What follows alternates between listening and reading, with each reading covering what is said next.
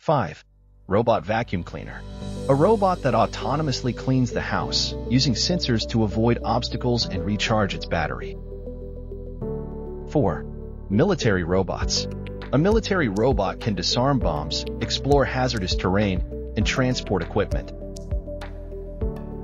3. Autonomous Cars. These are cars that can drive themselves, using cameras, radars, and lasers to detect the environment and adhere to traffic rules. 2.